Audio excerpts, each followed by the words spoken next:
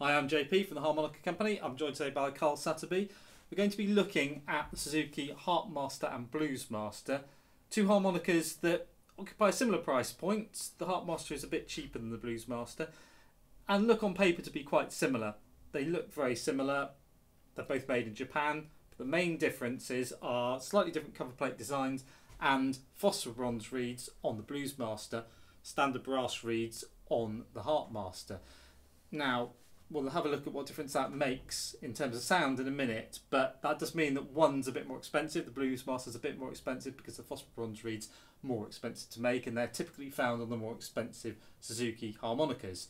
Now, I'll hand it to Carl now, and we'll see what difference this makes to the sound. Now we've got two here; they're not in the same key, but it should give you a good idea of the different sound that the two harmonicas make. What do you think of these two harmonicas in general? I like both of these, and I think what tells you a little bit about how much I like these. These have come out of my case, my working case, Yeah.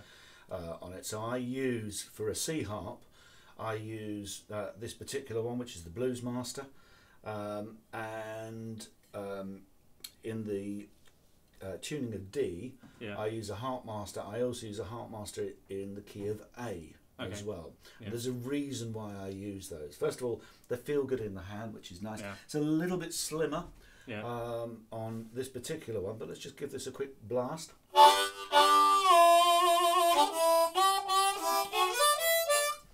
If I do the same on this, you'll hear the difference in the reeds.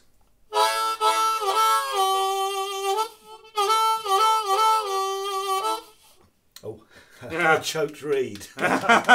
I wasn't expecting that. okay, I suppose one of the upsides to phosphor bronze reeds is they're going to last a bit longer. Have you found that's the case in general?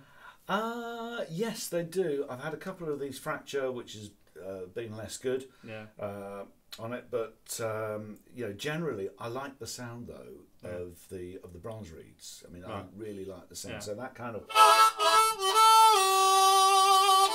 there's a little bit of a growl to it, Yeah. which I really really Yeah. like, and is less pronounced on this, which is obviously in C.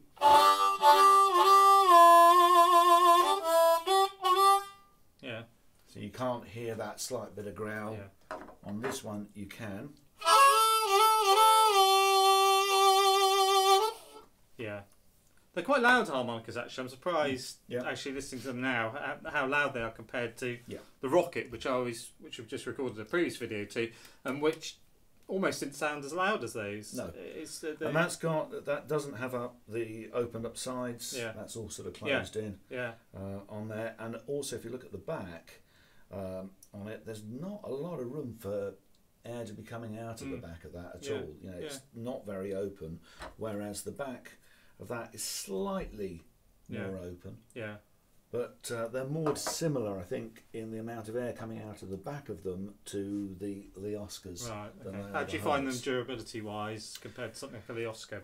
Durability wise, they're not bad. This again is an old one. I've had this one for about seven years. Yeah. That has been in my case that whole time. Right. Um, it's used regularly, Yeah. um, and none of the reeds are fatigued. Um, it's lasted very well. You can see quite a lot of wear Yeah. on the comb itself, and this I think is a really important thing. Yeah. I'll talk uh, in one of the other videos about cheap harmonicas, Yeah. but um, these I think are actually very very good harmonicas, and that's why they stay in my case. and they're not they're not expensive either, No, are they? They're, no. they're, uh, they're, uh, from memory, they were both under thirty pounds, which is which is pretty good really in this day and age. Okay, thanks for that. Um, any comments or questions? Drop them in the comment section below. Anything you want to ask us about these harmonicas or any other harmonicas, just let let us know in the comment section.